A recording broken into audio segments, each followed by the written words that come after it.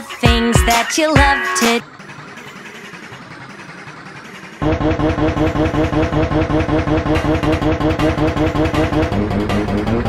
About all the things that you love to do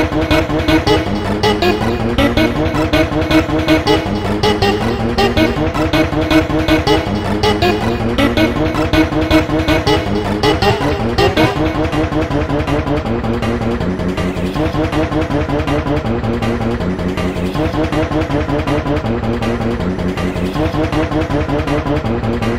you.